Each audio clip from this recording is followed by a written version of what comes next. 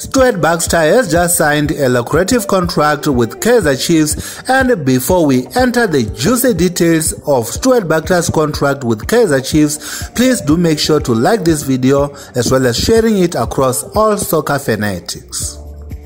The Glamour Boys did not only part ways with Gavin Hunt in May 2021, they've also parted company with millions of friends. Reports from Soccer Laduma says that as was the case with both Giovanni Solinas and Ernst Middendorp, Chiefs paid Gavin Hunt a three-month salary of about 2.5 million rands in compensation.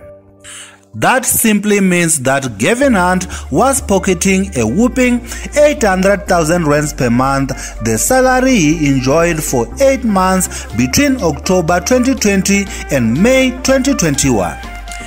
Had Kaizer Chiefs decided to keep Gavin Hunt for two more years, they would have paid him 20 million rands as per his contract. On the 9th of June 2021, Stuart Baxter signed for Kaizer Chiefs on a two-year contract with an option of a further two years with the Soweto Giants. It also seems that money is not a problem at Kaizer Chiefs as Stuart Baxter is believed to have signed a two-year contract worth over 850,000 rands a month. Now that simply means that in the two years that Stuart Baxter will be at Kaizer Chiefs, he will cost the Glamour Boys a whooping 21 million rands. With that said, let us not also forget that Kaizer Chiefs are semi-finalists of the CAF Champions League where they are guaranteed to walk away with 12.4 million rands if they lose to Wydad Casablanca over the two legs.